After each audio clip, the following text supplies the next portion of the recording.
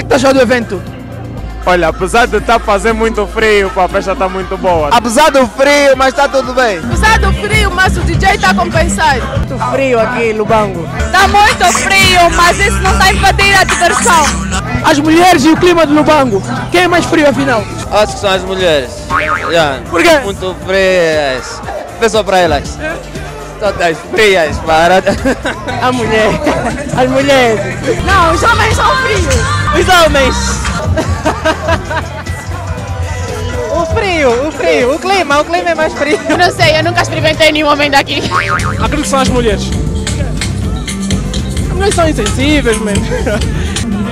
Eu acho que é o clima. Os homens são quentes. O clima é frio, as mulheres são quentes. Sério? Juro. Acho que é o frio, acho que é o frio. Porque elas aqui são quentes, são quentes. Os homens, Por quê? hã?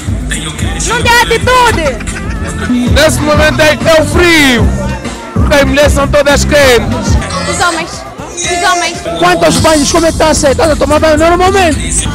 É mesmo assim.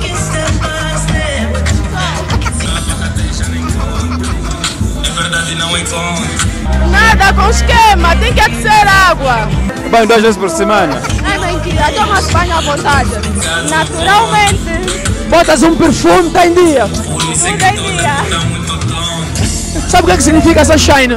Sunshine, sol a brilhar. Sunshine, é o sol a brilhar. Sei, sunshine, sun. Sol a se pôr. Shine é vestir bem. Sunshine, só se pôr a vestir bem. É pô, uma festa que é sunset e você a vestir bem. Sunshine. Tá no sunset a vestir bem. Se for pra ver com outros olhos,